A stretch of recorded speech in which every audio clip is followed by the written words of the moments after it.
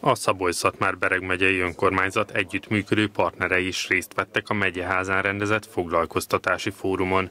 Az ülést azért tartották, hogy a megyei foglalkoztatási paktumban érdekeltek, tájékoztatást kapjanak a program eddigi szakmai tevékenységéről és eredményeiről. Egy dinamikus folyamat.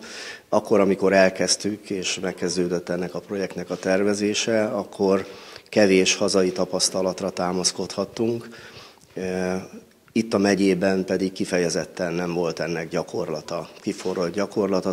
Talán Nyugat-Magyarországon több foglalkoztatási paktum működött már, és fölhalmozódtak ott tapasztalatok. Mi tulajdonképpen járatlan úton indultunk el, ezért különös jelentősége van annak, hogy útközben az észrevételeket meghalljuk, meghallgassuk, kicseréljük a véleményünket és a tapasztalatainkat, és a szükséges korrekciókat, erre szükség van, akkor végrehajtsuk. A megyei szintű foglalkoztatási paktum a megye egészére kiterjedő célokkal és tevékenységekkel működik, és ösztönzi, illetve segíti a megyében működő helyi foglalkoztatási paktumokat.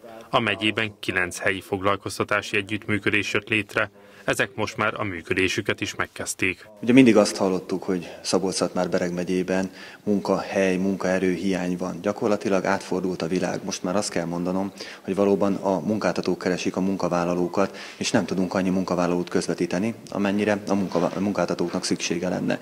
Nyilvánvalóan van még bázis, van még miből építkezni, hiszen ugye ott a közfoglalkoztatási éra, illetve ott vannak még gyakorlatilag az inaktívak. Én úgy gondolom egyébként, hogy szabolcs már Bereg megyében kifejezetten jó alapot tudunk ahhoz nyújtani, hogy ennek a paktumnak, ennek a szervezetnek gyakorlatilag a működését át tudjuk ültetni, és pilotként tudjuk megmutatni, nem csak a helyi paktumoknak, hanem akár országos tapasztalatok szerzése véget is. Polgári András azt is elmondta, a paktum fontos eleme, hogy a helyi igényekhez igazodva indítsanak képzéseket, hiszen csak így lehet sikeresen az elsődleges munkaerőpiacra irányítani az embereket.